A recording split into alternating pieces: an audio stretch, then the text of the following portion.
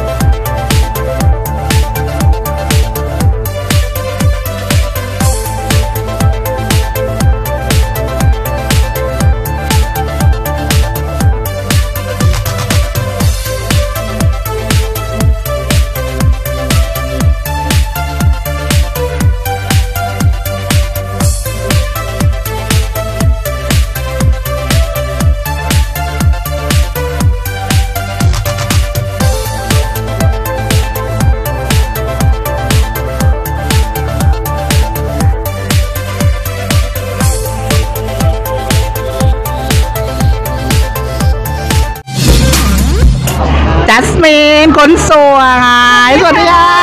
อีกครั้งหนึ่งวันนี้แบบว่าเข้ารอบลึกๆเลยได้ตำแหน่งอะไรบ้างได้ตำแหน่งมิสโทมโคเออจะไม่โทษมาต่อได้เลย วันนี้ได้ตำแหน่งอะไรบ้างมิสโทมัสคลินิกค่ะว้าวได้รางวัล 50,000 บาทว้าวใช่ค่ะ แล้วก็ได้มิสคอนเทนต์ค่ะ ได้รางวัล 30,000 บาทค่ะ โอ้โห ทั้งหมดนี้รวมเป็นแปดหมื่นเลยหมื่นค่ะแม่ประทับใจ อะไรมากที่สุดสำหรับเวทีนี้อะสำหรับเวทีนี้นะคะ แน่นอนค่ะต้องประทับใจรางวัลค่ะเพราะรางวัลเยอะมาก แล้วก็สิ่งที่ได้นะคะ นั่นก็คือประสบการณ์ค่ะอ่าแล้วก็มิตรภาพจากพี่ๆคนในกองค่ะ แล้วก็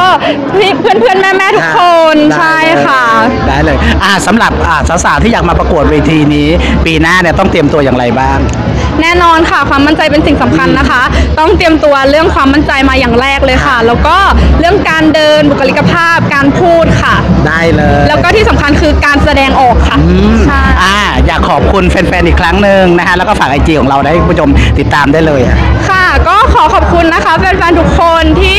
อ่าเป็นกำลังใจให้จัสมินตลอดนะคะ ตอนนี้ก็สิ้นสุดไปที่ top สิบทำเนาะสำเร็จแล้วใช่ค่ะ เออก็ฝากทุกคนนะคะเป็นกำลังใจให้จัสมินด้วยนะคะจัสมินจะไปสู้ต่อในเวที Miss Grand นั่นเองค่ะ ว้าวสุดยอด ขอบคุณจัสมินมากเลยค่ะ ขอบคุณค่ะ บ๊ายบาย